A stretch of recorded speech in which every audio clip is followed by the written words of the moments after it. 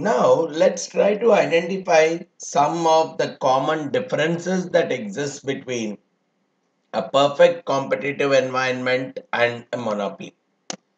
The first dimension that I would look at is with respect to pricing and the output.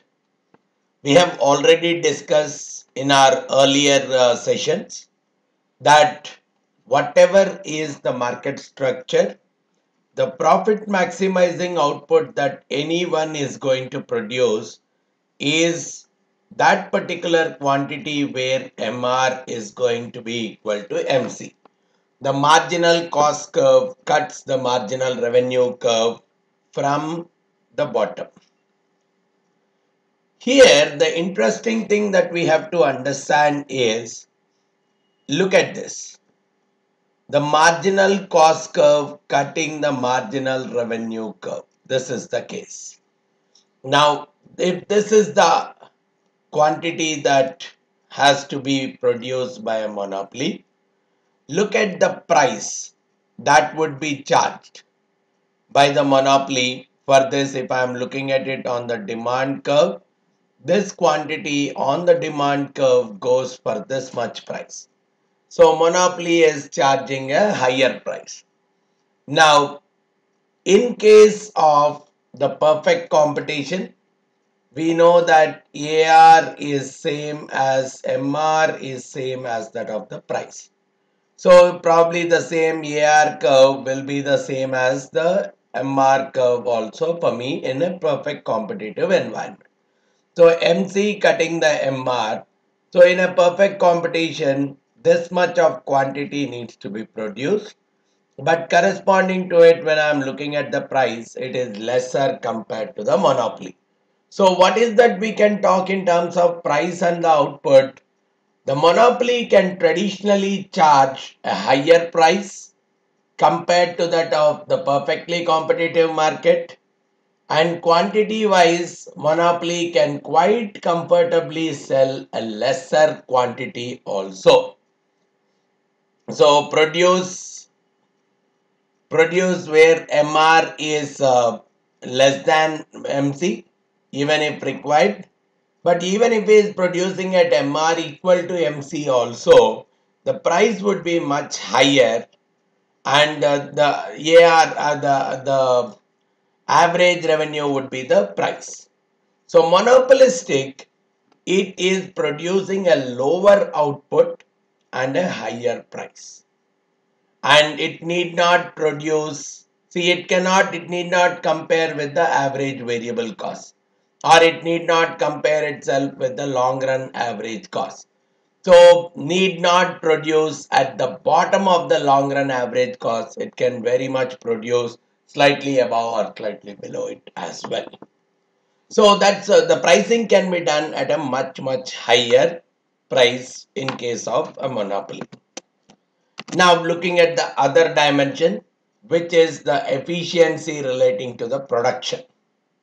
Now, any firm, when I am saying it is efficient, its average cost should be minimum.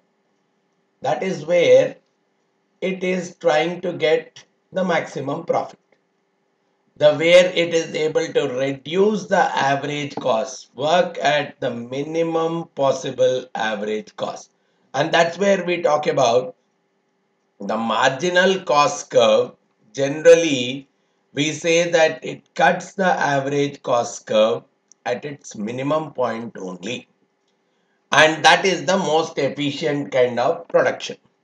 So any production efficiency I talk about, it is achieved if the firm is producing at the minimum average cost. And in case of a perfect competitive environment, we directly see that firms operate at the minimum average cost itself. Otherwise, if they are not operating at the minimum average cost, they are uh, losing out, they are facing a kind of a loss.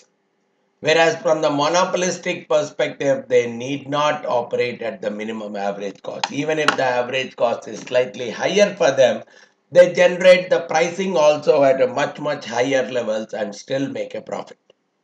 But one important point that we need to understand is though monopolistic monopolists they don't have any kind of uh, incentive to really stay efficient but let's try to understand that they have the ability to keep the production more and more efficient.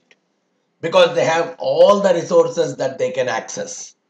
They have they it's it's purely their willingness and the ability they have the ability it's only the willingness for them to stay more and more efficient. But we need to understand in case any monopolist uh, is becoming more and more efficient they can really generate supernormal profits in the long run because the average costs are going to go low drastically. Whatever the price they are setting the average revenue is much much higher. The difference is contributing to the profit per unit and with the increase in the number of units the overall profit is getting completely maximized. So the more and more productive efficiency that is followed by a monopolist though not required but the more and more uh, effective production methods being followed by the monopolists i can very clearly see that the profit generation potential in the long run, generating supernormal profits in the long run becomes a very, very uh, uh, easier situation for a monopolist. Whereas from a perfect competitive firm, probably operating at a productive efficiency is needed. Otherwise, it can't survive. It has to keep itself uh, efficient because at the end it can't dictate the price. It's a price taker. The only way it can gain its uh, normal profit is to have an efficiency in terms of production. The moment it is not able to achieve that efficiency, it may have to get out of the business. So it becomes the need for a perfectly competitive firm. In case the competitors are becoming more and more efficient, and if this firm does not react to that, if this firm does not respond to the moves of the competitors and it does not become efficient, probably it may be uh, kicked out of the business altogether. But at the same time, whatever this firm has done in terms of improving the efficiency in a, pro, in a perfect competitive market, even the competitors are going to imitate that. Even the competitors are going to react to that immediately which means whatever the additional cost that is incurred in terms of achieving that additional efficiency it is getting wiped away by the competition but one thing we have to un understand without maximizing efficiency they cannot generate any profit. So the profit generation has to come uh, only through the efficiency maximization in a perfect competitive environment. Because they can't change the price their average revenue cannot change. The only thing is they can cut down on their average costs and try to generate a profit so they have an incentive to really maximize the efficiency. They have to do it. But they cannot benefit from the economies of scale. So something which for a for a perfectly competitive uh, environment based firm it's the need. Whereas for a monopolist though it's not a need it really makes it more and more profitable in the long run so uh, it has to use its ability to maximize the efficiency then if i look at from the optimal efficiencies perspective, why do a monopolist looks for efficiency? Economies of scale. So AR will become much higher compared to AC. Average cost will become much, much lesser if it is going with the economies of scale. So automatically the profit is going to be drastically higher. Now it can use, it has the resources, it has the capital where it can do a lot of R&D based investments, improve the process, improve the efficiency, reduce the average costs and increase the profit. So that's one more reason why a monopolist must look out for an efficiency. They can become more and more innovative, efficient, all will drive profits. So that's one of the prime reasons monopolists, though there is uh, no incentive, it can look at it from a different perspective in the long run in terms of uh, generating profits. Now that is the productive efficiency side. On the other dimension, we also have allocative efficiency. This is more looking from a social welfare perspective. Allocation of the resources in such a way that it uh, maximizes the welfare of the society. That's the reason we call a point called social optimum point, which is that much of quantity where this the social welfare is getting completely maximized. So I'm looking at from two dimensions the value which the product gives to the consumer. How much the consumer is willing to pay for this particular good. The higher the consumer is willing to pay the higher has to be allocated for that particular product. Similarly i'm looking at from the perspective of the resources the cost of resources that are being used which is more to do with the marginal cost of the firm. So let's look at it from two dimensions one, the price which the consumers are willing to pay. It's a factor that affects the decision. The second, the costs that are typically being incurred by the firm in terms of producing that particular product. Which means these two have to be looked at, which means every firm will target that kind of an output level for allocative efficiency purpose the firm will target that kind of output level as long as the price is equal to the marginal cost. As long as the price is greater than the marginal cost, it can produce one more, one more, one more and finally uh, uh, make an additional profit. And at the same time, people are ready to pay for it, which means it is increasing the welfare. Similarly, if the price is lesser than the marginal cost, it means that people are uh, uh, people are uh, not ready to spend anything more than that. So there is no point in selling that additional uh, output decrease the output and uh, that is where the people are more and more happier. So we talk about the output level where the price and the marginal costs are remaining the same are more or less equal that output is what will bring out the allocative efficiency. And what we see is in the perfect competitive world the firms will operate always at the social optimum output level itself. But in case of monopoly, they still can produce much less than the social optimum output. But if they produce at the social optimum output, where the price becomes more and more equal to the MC, they can still, in some cases, they may make a loss, but they have to work around in terms, they can, they can operate at that level only provided they get some kind of subsidies from the government in some cases.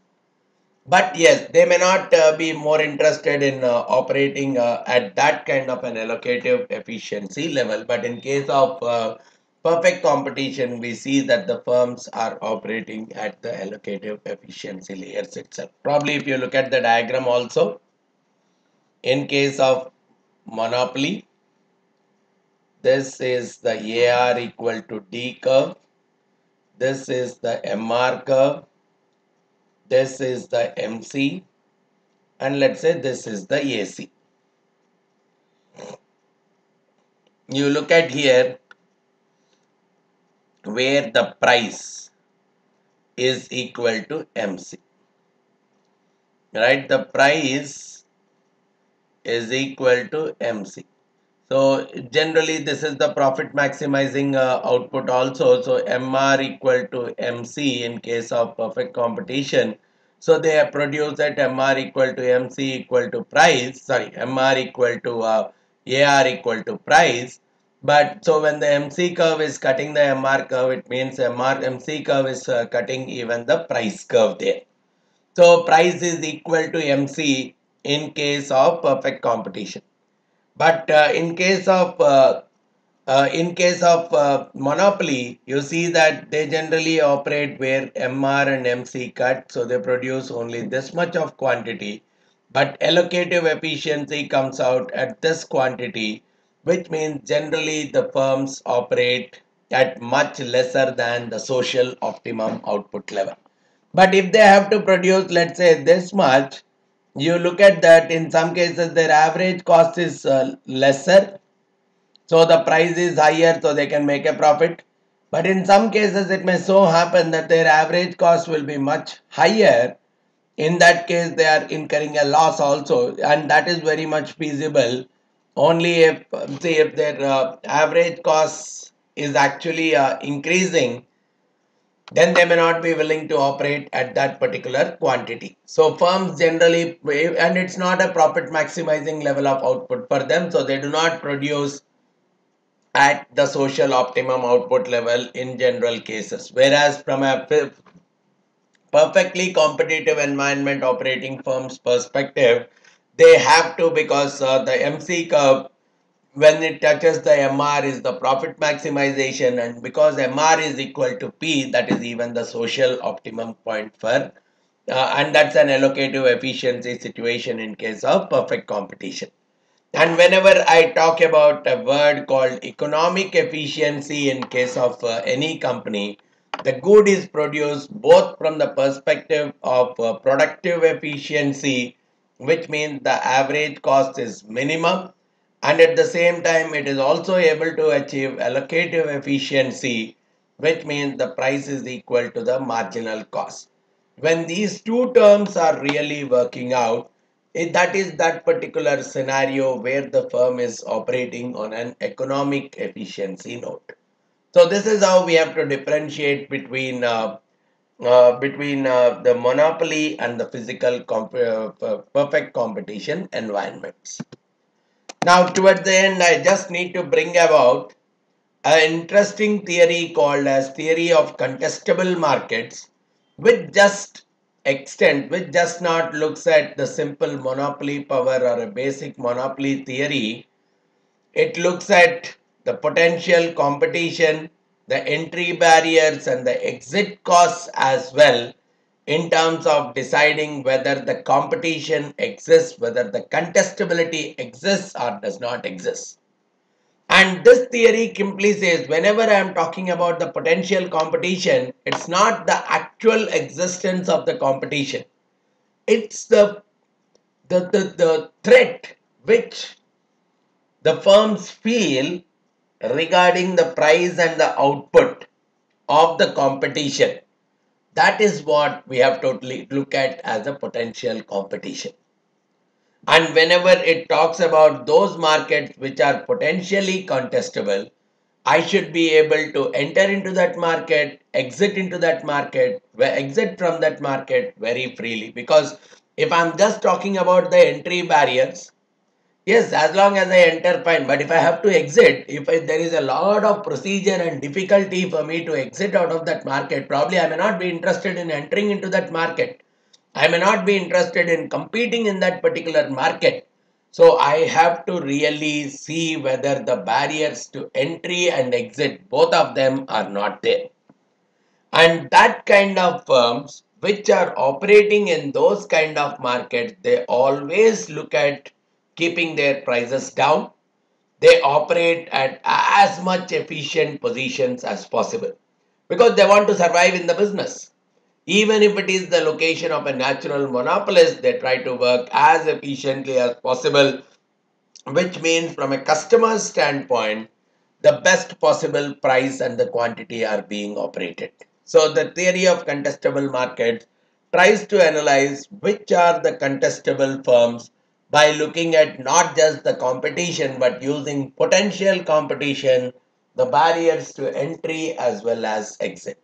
But the only drawback of this particular uh, model is it does not look at the established firm which has already created a dominating position in the market and that can literally influence any firm from entering into the market.